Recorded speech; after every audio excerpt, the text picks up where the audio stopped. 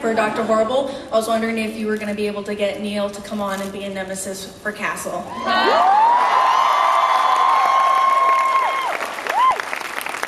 Uh, the only thing holding Neil back, really, is his talent.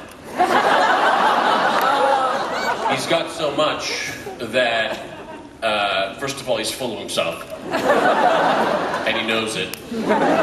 Uh, but it keeps him really, really busy. So you'll call him up and say, hey, I was just calling to see if maybe you would be ever interested in doing an episode of, oh, I can't stop now. I gotta rehearse for the uh, Oscars.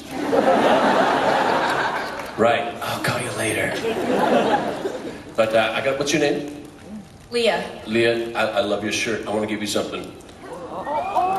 This here is a little uh, double rainbow maker.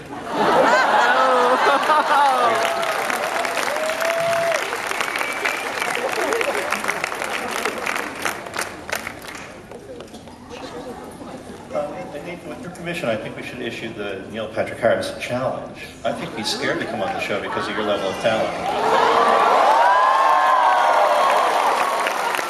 And right here, I will challenge Neil to come on the show, and we will write a role for him. I second that challenge. I think a good way for Neil to find out is on Twitter. You can follow him on Twitter.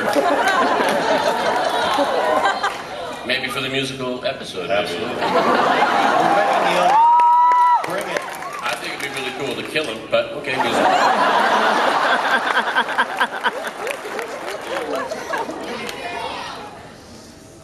I am.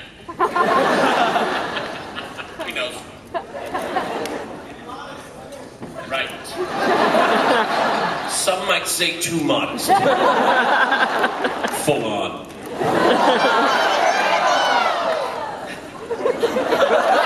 Next question.